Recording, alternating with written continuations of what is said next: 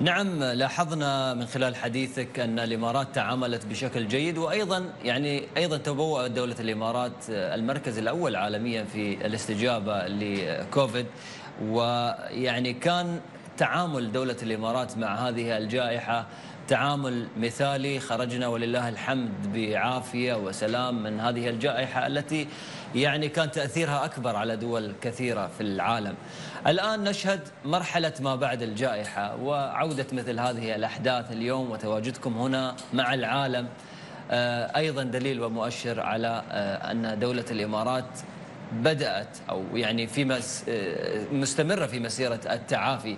كيف تنظرون لعالم ما بعد الجائحة. آه، هنا في دولة الإمارات وأيضا في العالم وأتحدث هنا من منظور آه، تقديم الرعاية الصحية. ماذا تعلمتم من الجائحة وكيف من الممكن أن نستعد لجوائح أخرى لا سمح الله؟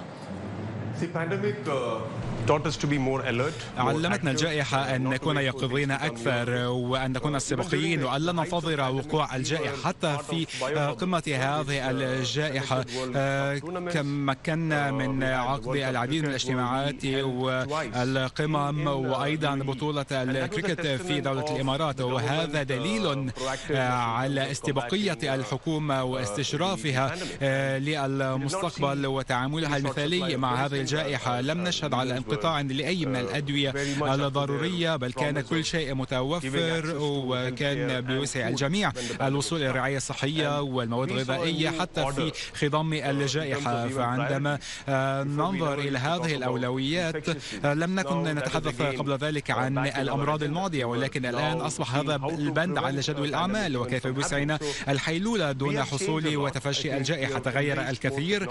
في عالم ما بعد الكوفيد تقبلنا التكنولوجيات الجديدة والإجراءات الجديدة التي لم تكن مريحة للقطاع لقطاع الرعاية الصحية. إنجاز التعبير. إذا نحن مستعدون للتغييرات الكبيرة في القطاع والتعاون مع الحكومات بوسع هذا التغيير أن يحصل في القطاع الصحي.